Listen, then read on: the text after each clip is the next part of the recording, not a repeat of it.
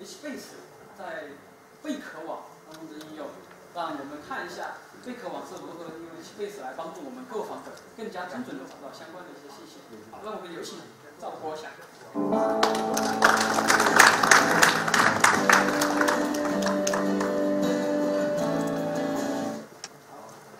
非常荣幸来参加这个这次的亚洲会议。然后，呃，我这次的会议主要给大家简单分享一下我们那个贝壳找房，啊，这个场景下我们 HBase 是如何落地的。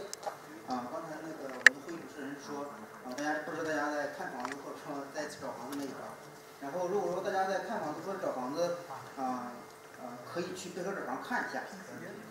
我最后会给大家简单分享一下啊，我们的一些个其他的一个场景，然后我们还是说这个会议的主题。而我是来自于贝壳找房那个赵国贤，啊，现在负责那个贝壳找房这个大数据架构团队。然后我们这个团队呢，其实就主要专注于这个贝壳找房，啊，我们这个整个大数据底层架构啊，包括这个存储啊、计算，还有那个啊我们这些五量美多分析的场景，还有我们整个这个公司的一个监控体系建设，还有我们的实时决策系统。然后我们的贝壳找房啊，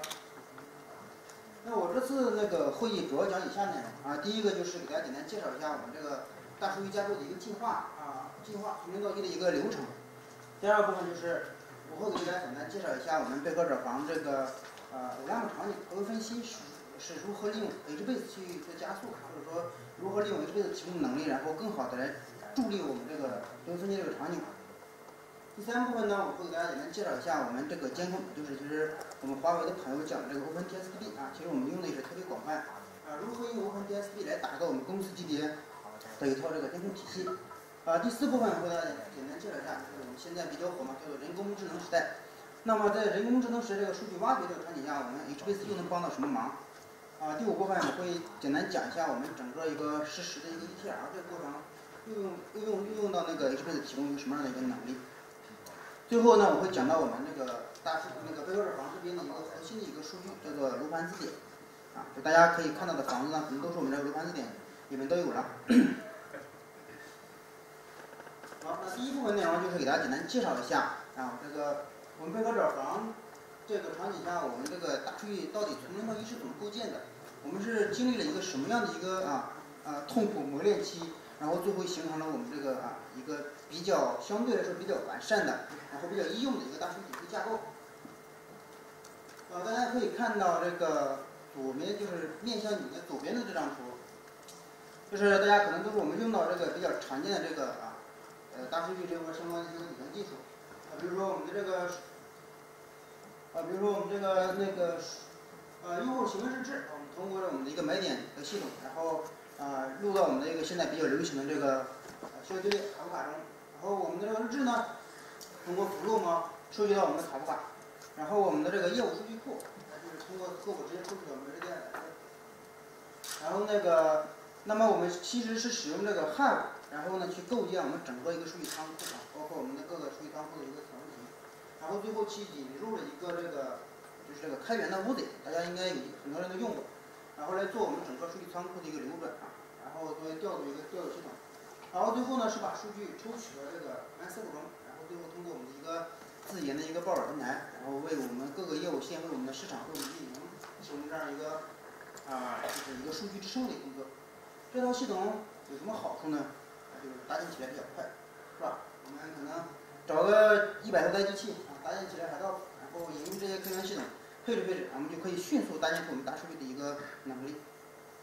那有什么坏处？坏处其实就是它因为比较简单。简单举一个例子，我们当时那个呃，这是两年之前啊，我先说一下是两年之前的一个架构。两年之前我们这套架构架构出来之后呢，市场给我们提供需求，啊，找到我们说那个你们给我们出一个大数据，不是大数据嘛？哎，你很厉害是不是？呃，赶紧给我们出一个报表吧，我们这边有什么什么样的需求，是不是？然后呢我们就从底向上。从数据抽取，一直到整个数据啊数据仓库的一个流转，一直到我们一个调度系统的一个配置啊，一直到我们到最后把数据抽取成 MySQL，然后做一个报表，发现两两周过去，然后我们的市场同学来找我们说，说你们这报表还没有出来，我们这个数据已经失效了，没有用了，是吧？我钱都花出去了，你的数据没有用了。我们也连类似这样的痛点很多吧。呃，那我们然后呢，我们有很多工程师就会跟我们抱怨说，那个感觉我们不是一个大数据工程师，好像变成一个取数工程师，是不是？然后那又基本上面临什么问题呢？比如说 Wood 这个，Woody 有什么痛点？大家就是我们其实 Wood 的话是通过配置一个 XML，然后去做一个任务的一个调度。如果说任务链条中某一个任务失败了，那我们恢复整个任务链条的话，基本上需要啊、几个小时，甚至到一天的时间，然后我们整个才能恢复我们的整个一个报表。啊、那其实是不可接受的。面临这些痛点，我们怎么办呢？我们就做了一个架构的一个调整。大约在一年前，我们做了这样一个架构的一个调整。啊、我从是这样，好，然后大家可以看到，就是我们底层呢还是用这个爬爬或者是这个啊 Go，然后把数据直接抽取到我们这个啊 S A 中。当然，其实这块的话，我们是整个集群这块儿做了一个监控一个改造，通过我们 OpenTSD 把我们的整个监控体搭建起来，然后把数据直接抽取到我们这个 SDFS 中。数据流转这里呢，就是原来是用 Hub，然后我们引入一个啊 TZ，就是 TZ 这样一个运行的比较快，然后我们的整个这个数据仓库的一个流转效率啊，从三呃五六个小时提升到两一两一二一两个小时，这样的话这个效率是提升其实是很多的。然后中间层呢，就是这个供应链这一层呢，我们是自研的一个调度平台，这个调度平台提供了我们整个公司的一个啊任务调度。然后这个调度平台呢，其实我们是提供了什么？刚才我们讲到这个屋子这块，其实有很多痛点啊。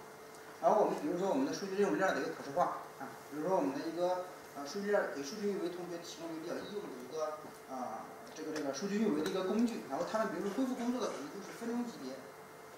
就简单配置一下就可以整个恢复一整一整套这个任务链的一个工作。大家可以看到啊，然后那么 HBase 用到哪里呢？HBase 基本上也算是我们的一个比较核心的一个工具。然后比如说这里我们的数据呢，像千亿级别这种数据呢，我们业务业务方有很多数据嘛，然后我们通过 API 报出去，然后我们找呃使用这种不开源的这种 MySQL 啦，就是说这种什么这种关系型数据库啊，基本上是撑支撑不住的。所以说我们引入了 HBase，我们把数据直接流转到 H HBase 之中呢，然后通过这个 API 把数据报出去，就开放接口。第二呢，我刚才讲到，我们的屋子也是把数据抽取到我们的 MySQL 中，关系型数据库嘛。然后这样的话呢，那面向大数据量啊，然后查询性能都是跟不上的。然后我们有一个开源的组件麒麟，啊，它其实底层是依赖我们这个 HB 做存储，这样的话我们就可以满足我们的一个啊比较灵活的一个呃报表的一个需求。最后呢，我们这个呃这个还有这个 HBase 啊，嗯，其实我们也用到一个一些个，比如说监控体系的一个，刚才讲到引入的 OpenTSD，嗯，把我们整个大数据这些工具链来构建出一整套的一个啊监控体系。最后呢，我们通过我们这个啊大数据呃这些个上层应用，比如说我们报呃研发的一个这种啊机器分析平台，一个 Hub，研发的一个基于我们麒麟和 HBase 做的一个这个啊就是折儿平台，然后统计了我们整个公司的一个报表平台。最后呢，纵向呢，其实我们当然也做了很多工作，其实数据嘛，其实都是公司一个核心的一个啊核心资产，就现在都比较流行叫数据资产嘛。那我们做我们的监控啊，做我们的这个审计啊，做我们这个权限的一个管控，就是通过这一系列的一个打造，一个还有架构的一个调整，我们基本完成从零到一这样一个啊路而过程。然后呢，呃，做了一次架构的一个呃进化，然后这样的话，其实我们目前这个架构基本也是这样，然后可以满足我们很求。基本上现在比如说刚才讲的那个比较痛苦的例子，市场再提维修怎么办呢？我们可以可能就是小时级别就可以给它迅速的构建出一个报表出来，因为我们的整个数据模型都构构建在我们的 H HBase 之中了，就是通过麒麟这种工具，然后构建在 HBase 之中。这就是我们那个背靠软房那个整套这个打会架构的一个体系。那我们这个主题是 HBase 是不是？好像有点偏离啊。那么到底到底 HBase 在我们整个这个架构大数据架构体系之下啊，有哪些场景呢？第一个场景，维分析。维分析其实是最常见的一种需求，对吧？我们做大数据大家都知道，我们可能啊给公司提供这种报表，然后满足我们公司各个业务线、各个事业部或者说各种各样的一个需求的一个分析的一个需求，就是 BI 分析嘛。然后这个能力是不可或缺，我觉得还是比较重要的，也是特别重要的。那我们当时我们面临一个什么样的一个需求呢？当时去调研了我们我们公司的一些需求。我们这边呢，其实有这种啊，上千上百亿吧，上百亿甚至甚至可能会达到这种千亿级别的一个数据量、数据集。就是我们这个报表可能需要一个数这种千亿级别的数据集的一个聚合。然后呢，也要求一定程度的一个高并发，因为我们可能报表平台可能面临像我们，我们这种一般我们公司做一个报表平台，可能都是给我们互联网公司都是给这种啊公司内部做的啊，公司内部顶天就五千人对吧？但是我们这报表平台是给谁做的呢？给我们的经纪人啊，就是你们比较常见的那种中介，是不是？不管你买房子啊，这是这种租房跟会做这种中介。然后那现在我们贝壳找房服务多少中介呢？就或者服务多少经纪人呢？他服务了有二十万个经纪人。他有可能，因为他们这个作业有什么特点呢？有可能他们是会在九点九点钟来了，然后就会打开我们的这个招平台，看一看昨天的一个业绩，或者说看一看招平台给他推荐一些数据统计。他基于这些数据统计，他有可能影响到今天整个一个作业的一个流程。啊，就这个其实不少平台要求这个高分发函，这个这个这个能力。最后呢，我们是要求一个亚美级别的一个响应，是吧？这个我们打现在打开网站，就是你不可能我出一个报表要要要请求个几分钟，是不是？啊，这个这个是受不了。最后呢，我们要求我们的研发团队，就是我们的上层的一个主任的一个研发团队，要求对我们要求是说，你最好能够提供一个 Circle 的一个接口，因为 Circle 呢就是标准，就是构建这个数据模型呢，然后整个查询这个流程构建呢是比较容易的。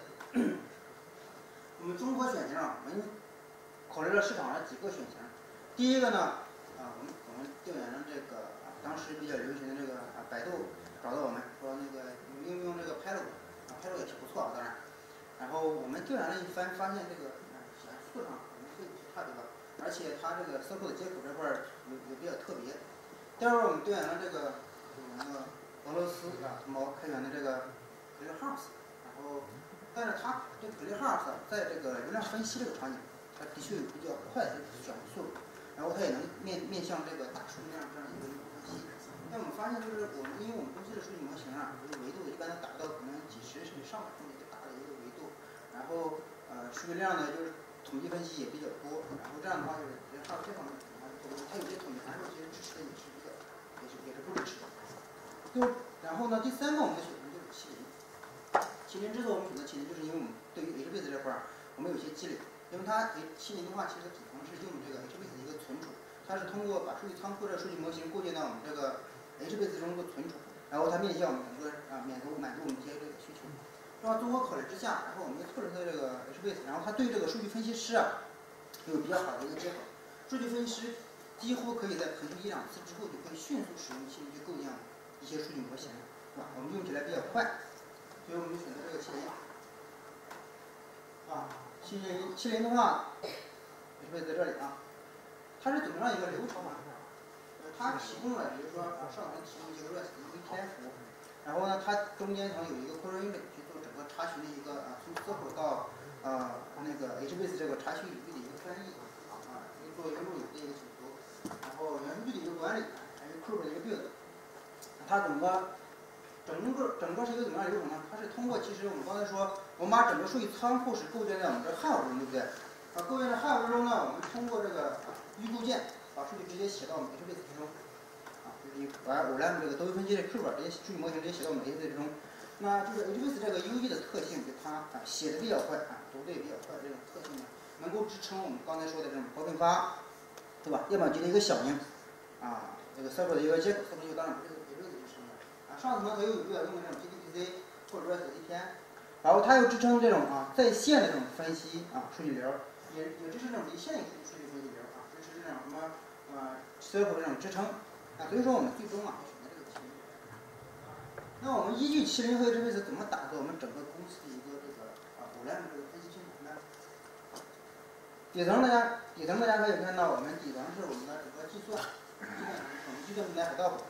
然后呢存储层是我们是用的这个 HBase，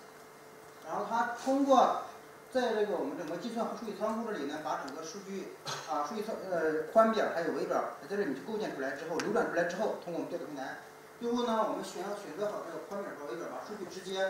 啊预计算到我们这个 HBase 之中啊，这个都是其实都是麒麟完成的啊。然后麒麟本身呢，我们又分成了一个构建集群啊，又还有一个这种查询集群。查询集群呢，它又提供了一个比较好用的能力，就是可以直接用 Linux 这种啊负载进行这种负载进行器，然后做一个负载进行，就说我们可以做横向或者纵向的一个扩展。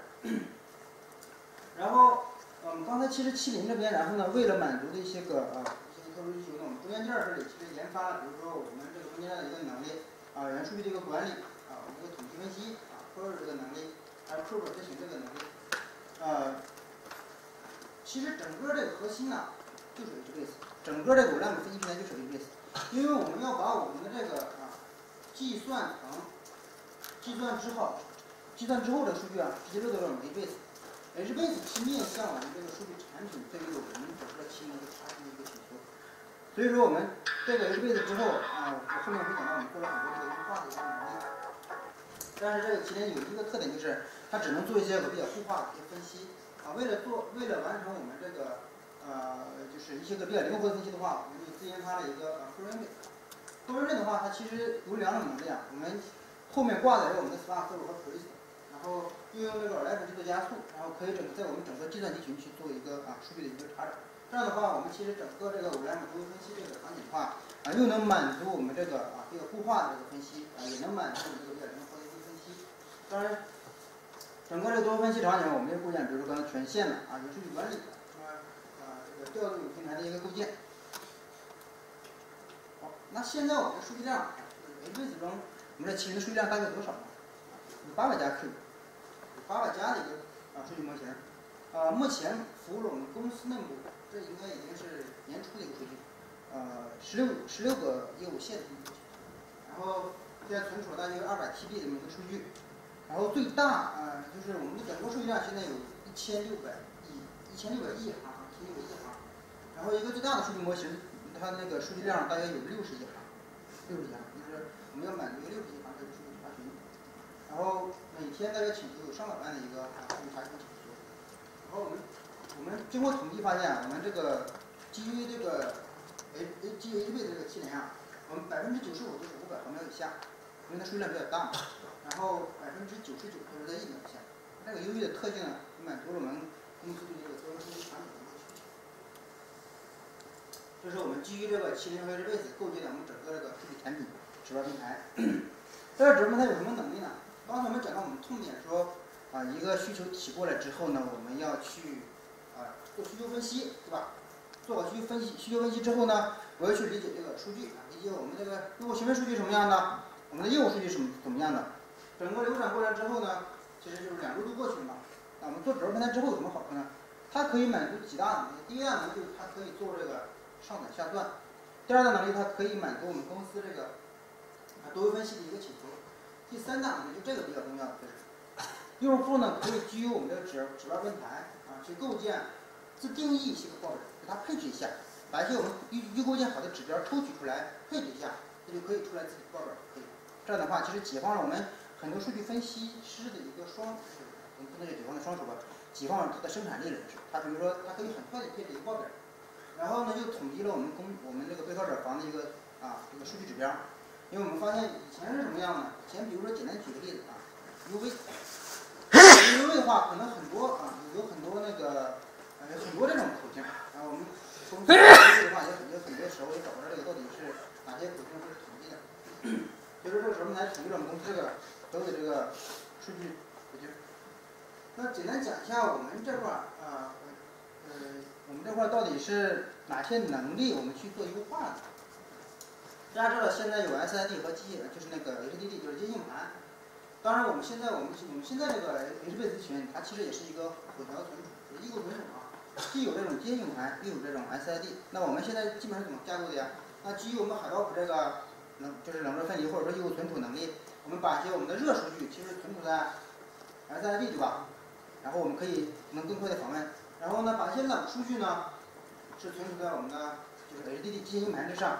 然后呢，我们发现就是说，因为比如说我一个 client 做一个请求的时候，这个 client 会随机分配我们这个 data node 的一个或几个节点去，就是某某一个节点去做数据读取，对不对？如果说它是有个数据本地性这种功能的话，我们发现就是说它可能默认是读取本地的数据，它可能不关心你这个数据是到底存储在这个 HDD 还是存储在这个 SSD。因为我们这个网卡，我们又我们整个一辈子就是搭建一个高性能、高性能网络之上的，我们大约有二十五 G 的网啊，就是这个网络一个能力。然后发现整个这个机械硬盘根本就用不到这么高的一个，那我们怎么办呢？我们做了一个 SSD First 的这么一个特性，就是我们优先去读取我们远程的一个 SID，它这个性能其实提升了就是提升了很多，就是呃，这个当时大约应该是提升大约百分之五十这么一个，优先级读取远程的一个 SID 这样一个读书。那其他我们做了哪些优化呢？就我这次重点讲的是我们的使用场景啊，来简单介绍一下。我们是开启了我们这个人脸的一个短路读啊，开启了人脸的短路读。然后呢，我们开启了这个呃人脸的这个我们这个多线程的一个读取，这个对于我们整个 HBase 这个啊读取性能提升很多。然后呢，我们开启了这个，因为人脸它，就比如说我们的我们现在是上千个节点这么一个集群，上千个节点集群的话，这个 Node 基本上每每每一周都会出现那么几个坏盘或者坏点。然后呢，它不一定是死啊，它也可以读取，都是磁盘读的特别慢。那这样的话，其实读特别慢的话，一旦说有这种请求落到这种啊落到这个这个这个坏的这个 node 之上，慢的 node 之上，我们发现就是说，整个这个 HDFS 这个这个一辈子的这个读取性能下降很多。HDFS 提供了一个这个就是可以测试这种呃就是这种比较慢的这种 z node 这种节点，这样的话就是这样的话能避免去读取这种慢的，就是慢的这个 z node，然后对于那个呃我们整个多维分析这个场景。性能提升，大约有百分之三十左右这个性能。Balance 就是我们对于海盗围棋的话，Balance 不可避免，因为它是为了做这种数据均衡，对不对？我们把比如比如不管是你开没开启这个这个机甲感知的，或者什么什么样的一个能力，它是需要把这个数据搬取到一些个它哎，比如说离这个传输比较近啊，或者说那个三个节点啊一些个不够的节点啊。但是我们发现开启这个 Balance 之后啊，对于这种这个啊读取的性能影响啊读取和写入性能影响特别大。为什么就是会这样？因为它对这种这个 NIM node 的这个性能啊，有一个严重的一个下降，就是达不到严重嘛，但是也有有比较大的一个影响。所以说我们是在会我们的这个高峰的查询期呢，把我们这个 balance 是关闭的，然后我们会在这种啊低峰期，然后把这 balance 开启。大家都知道，我们在 UBS 这块其实是一个啊，如果做一次写入的话，其实是先写入到我们的一个 log，对不对？主板 log，然后呢，默认它其实是一个这种。单线程的单点的一个写，然后其实大家可以把这个啊，就是多路的一个数据的一个写，这个 log 这打开的话，直接能提改善一些个这种写入的一些性能。当然，这个比如说像刚才我讲到这个 SID 啊，呃，first 我们对照转方也也是其实也提交到我们那个呃 HBase 官方了。然后对，呃，所以今天我简单讲的场景的话，就我具体介绍这么一个优化的性能。然后第三个场景的话，其实就是这个啊，我们这个第三步我简单讲一下我们这个监控的场景。监控这个场景的话，以前我们是一个什么样的一个现状呢？以前我们整个这个公司的监控引入的是一个 OpenFire，OpenFire 上的话，它底层是使用什么 CPU 存储对不对？它其实做一些个，比如说业务的一些监控的时候，配置一些个特别高高性能，它也的确是比较比较好用，比较易用。但是对于我们集群这样的一个就是容易呃上千台进进行达到两千台这样的一个服务器这么一个规模的一个数据量的话，我们发现就是，大部分副站卡基本上经常出现丢数据，或者有部分数据写写不进去。然后呢，还存在一个什么样的一个痛点？我们发现就是说，呃，我我们的这个呃呃 Sys 就是我们的系统系统组，它提供一个监控，就是监控呃磁盘啦啊硬件儿这个系统。然后我们网络组呢，提供的是一个啊网络组这样的一个监控，就是它告诉我们你这个整个集群的网络情况是怎么样的。然后我们这个呃用户小组呢，提供我。发现其实监控不统一，所以说我们引入了我们刚才那个华为主持讲的 OpenTSP，OpenTSP 呢是这样一个简单就这样一个角度，我们用这个 t e r a b l a 然后把我们这个基础的一个数据啊，直接通过 HBase 写入到我们 TSP 中，然后用我们这个 HBase 去做这种存储。然后呢，我们这儿任务的一个信息啊，我们自己写一个啊，就是后端程序，就是然后把数据直接写入到我们 TSP，TSP OpenTSP 中。然后呢，查到本身的这个 matrix，就这个比较简易啊，就是它也可以直接写到这个，直接就配置一下就可以直接灌到这个 OpenTSP 中。然后正是利用整个 OpenTSP 的这个性能的话，我们现在就是一个比较基础能力。刚才应该有同学说你报表怎么办呢？比较简单的话，你可以玩分散去把这个报表直接配配置出来，然后配置配置出一些个带报的。我们这会儿还没有画一个能力，就是我们是基于 HBase 本身它一些个对于，因为我们理解它这个 schema 之后啊。我们把这个能用 Spark 接口去做一个分析，现在我们也在探索去做这个分监控。就我们集群，呃，我们整个海盗集群这块儿啊，到底哪些个呃可能会呃预先能够预先知道，或者我们希望是能够预先知道我们的故障点在哪里啊？现在正在去探索这条路线，然后来引入这个这个呃 Spark Server 或者 Spark MLab 这种啊策略更好的能力。啊，正是基于这个 Base 这个能力的话，现在基本上现在我们的整个这个集群的话是使用 OpenDSP 打造我们一套监控体系，然后啊，我们的报警量通过这种 OpenTV 的能力配置好之后呢，我们的这种误报，然后这种这种就是基本上是基本上已经消失了。然后这是我目前这个 dashboard 我我简单截了一个图，然后这是我们的一个 w o r k n 我简单做了一个，就是昨天做了一个这个。dashboard，然后大家可以其实可以把自己关注的一些个啊指标呢，直接放在一个 dashboard 之中，然后这样的话你能关注到你自己这个集群或者你自己不管是 V 还是海盗或者说其他这个业务业务方向的一个啊监控各种各样的指标。啊，数据挖掘的场景，大家现在刚才讲到，现在我们是一个人工智能一个啊时代，那数据挖掘这个场景，我们到底 Base 到底能够提供一个什么样能力来助力我们的数据人工智能时代呢？这是我们贝壳找房，呃，数据挖掘的一些个架构图啊。我刚才讲到这个这些个基础平台呢，是我们团队提供的。然后在上层呢，就是依据我们的基础平台呢，我们的数据挖掘团队呢，其实比如用户画像啊、房屋啊、房源画像啊、经纪人画像、小区画像啊等等的，然后他们上层用各种模型算法，然后构建这样一系呃一系呃一系列的一个那个数据挖掘产品，比如说全国预测。啊，这是数据房屋估价，然后呢，精分匹配，就是给你做推荐，是比如说，啊，咱们有的朋友要去买房的话，他可能给你推荐一下，你到底哪套房子可能更适合你，对不对？给你推荐一个经纪人，啊，哪个经纪人更适合你，对不对？我们也希望就是促成大家的成交嘛。而增长渠道啊，比如这个地线，大家可以看到，基本上我们整个数据挖掘对不管是产品还是底层的一些个能力。我画红圈儿这些东西啊，呃，有的百分之百是应用到我，比如说这万字点，百分之百是应用到我这个 A B C 这个主论坛啊，刚才讲到这个是吧？啊，那个呃，这个气联也是一百分之百应用到我这个 A B C 它用画像啊，房屋画像、房源画像、经纪人画像、小区画像，然后房屋估价都是我应用这个 A B C 能力提供的。就简单讲一个这个房屋估价这个例子，大家可能觉得我们我们全国应该。有一亿多套房子啊，有有一亿多套房子。然后呢，每套房子我们是希望每天更快的能够，就是为了来给大家一个更准确的一个估价的话，希望每天甚至每小时，甚至可能达到每分钟给你做一个估价。因为其实它也也可以把它想象成一个比较就比较大的一个时序的一个一个变化模型啊。然后这个数据量其实是已经达到一个千亿的一个规模。然后呢？这个房屋估价产品能满足的是我们各个业务线，比如说租房，比如说新房，比如说那个二手房之类各种各样产品的一个调用的一些需求。那我们这个呃挖掘这个同事呢，跟我们聊之后呢，把这个整个这个千亿级别，现在应该是一一两呃没图价，反正千亿级别这个数据直接写到柜子中，然后面向的是这种每天上百万的一个调用的一个需求。所以说大家啊发现这个这个有什么一个规律呢？大家。都比较关注自己房价，都比较关注于就有房的人好像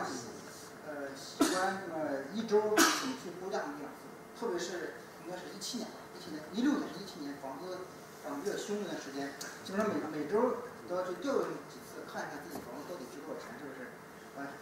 对，反正目前这个这个时间段儿，就是一八年进入一八年之后，这个调用量是下降了一些，好像是说是吧？这个习大大是吧？这个。压的比较狠，好像房子也不怎么涨，是不是？还是好好工作赚钱，是不是？不是？啊，反正这个房屋估价就是我们一辈子都在提供一个存储和产品的一个非常好的一个优异的一个主体一个这样的一个性质。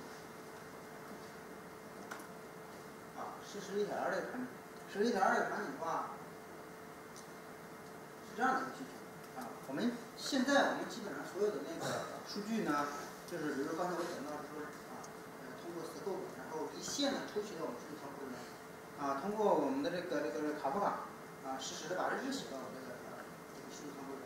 但是其实我们整个一条过程是一个比较缓慢的一个过程。比如我做一个数据的一个从啊数据仓库的 S 一层到我们 ODS 层，啊这么一个转变的话，我们发现这个啊啊啊这个数据啊这个数据这个，我刚看了个倒倒计时十分钟打断我了，那个然后那个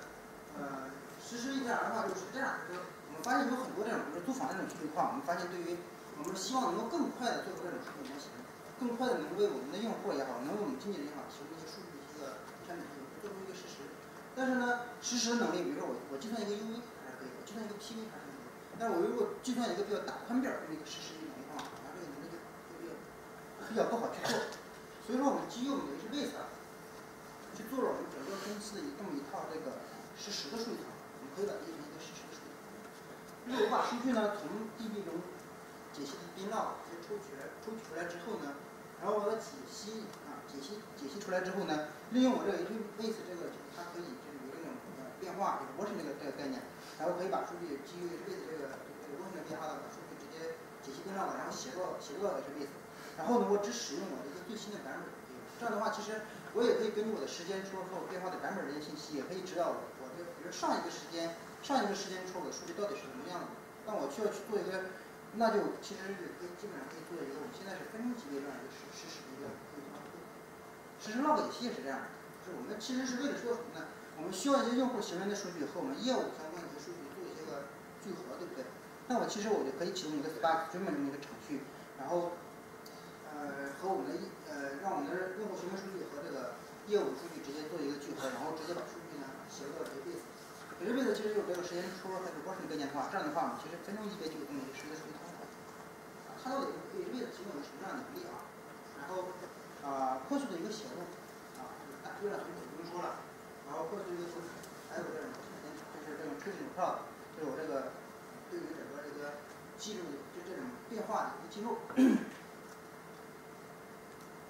呃，HDIC，HDIC 是我们公司的一个核心数据资产，楼盘字典。什么叫楼盘字典呢？就是我们全国这一，我们目标是把全国这一亿套房都数出来，对不对？把全国这一亿套房都数出来。那这个楼盘字典它是怎么去维护的呢？简单来讲，就是说我们的经纪人或者说我们每个人都可以去。向我们的楼盘字典去注入一条数据，那我们到底信任哪条数据？简单举个例子，比如说 A，我说啊这套房子，呃它的建造年份是一九九九年，然后 B 呢，哎告诉我们说它的建造年份是二零零零年，每天甚至一套房子可能有十个或者说二十个这样一个记录，在没有引入这个 HBase 之前，那我们怎么办呢？我们只能说提前做校验，提前做校验，就是我校验好我这个数据之后呢，再写入到我这个啊 DB 中，里面这种中，对吧？那那其他人的这个数据我们记录不到，我也不知道到底该信谁。那我有可能我的校验是不对，对不对？那引引入 HBase 之后可以怎么办？每个人都可以让我这个，每个人都可以让我的是事实库 HBase 中去写入我的数据，就每个人都可以写。然后呢，我根据我写入的数据，我可以，我们根据一些其他数据，比如说这个经纪人的执行度啦，啊，根据他以前提供数据内容，可以计算出一个执行分数。根据这个执行分数呢，我可以直接抽取出来，我每条记录到底是哪个，我应该信任哪一条。然后呢，基于我这个事实数据库，就是 HBase 提供，然后我又可以去通过这种消息机制呢，我可以把数据直接抽取到我一个一个这种业务数据库，就是我 Master。你可以认为我们这种事实时数据库提供我们整个 Master 一个全局的能力。然后呢，我们就根据各个业务现在打造我们一个啊，打造了我们一个啊，满足不同业务需求的一个各种各样的一个业务数据库，它是提供这个。这我就不多讲，然后比如说我们这个通过这种啊，这个一个啊，我们可以去做通知这样一个功能，可以感知到数据直接变化的一个情况，然后把数据直接啊实时的啊录入到我们这个这个 service DB 库是那个业务数据库中。好，然最后啊，最后然后我就简单讲一下我们贝壳中什么这个数据啊，就是就是这个。我们现在已经那个去年十一万规模的这么一个 GMV 啊，应该全中国满达到万亿规模的一个 GMV 应该就好像就两个，一个就是我们的阿里巴是吧？另一个就是这个贝壳，我这个我这家的，这房子这个这个它周期比较长，但是因为它是一个啊大额交易嘛，然后呢产品技术人才啊一千多个。楼盘字典呢有一套，然后这个什么去做怎么讲呢？二反正数据能力呢，目前这个还是应该有十 P 的一个数据能力。然后，大家如果说刚才我们华为同事说，如果想使用华为，你们可以用它。大家如果想买房的，可以联系一下。这个，我可以给你推荐一个这个这个什么呀？经纪人。当然了，如果说对我们贝壳这房如果感兴趣，合作或者说加入都是可以的。好，谢谢大家。接下来就提问时间，欢迎大家问。有买房子的可以赶紧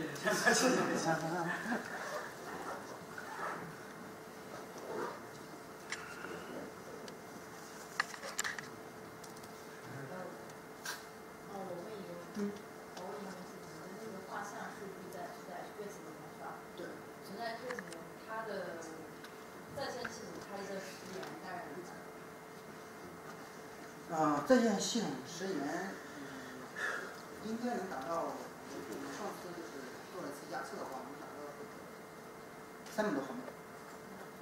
嗯，会存在那个就是因为画像，它多个那个画像那个属性碰撞。基本上没有这种情况。基本上没有。都是单独的。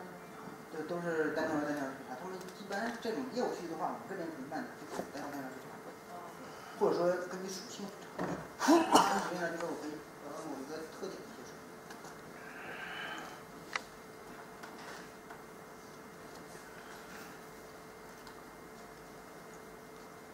嗯，好，那看来大家现在对买房还不是太感兴趣。没有其他问题的话，那就先就先这样。然后我们休息，也休息一分钟吧。然后我们等会儿。开始下一场的演讲，然后陈迅，刚才我在陈训练。